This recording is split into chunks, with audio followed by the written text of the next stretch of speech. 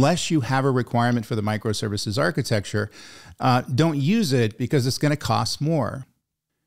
So the next would be microservices cost too much. Who'd have thunk that? Um, microservices, containers, you know, cloud native development were, were basically a development religion for a long period of time. And it really, it's that kind of remains today.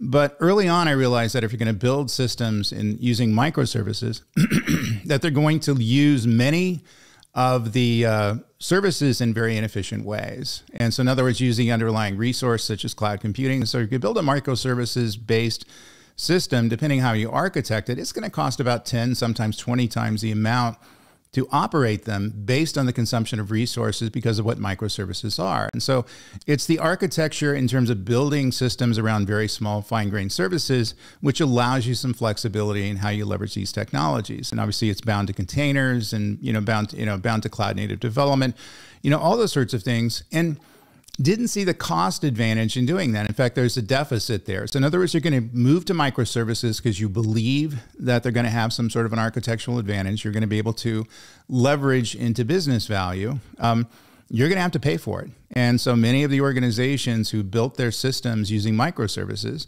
uh, ended up moving them back to a monolithic architecture because the cost was way too high and they didn't necessarily need it as a business requirement. So, my guidance today is much the same. Unless you have a requirement for the microservices architecture, uh, don't use it because it's going to cost more.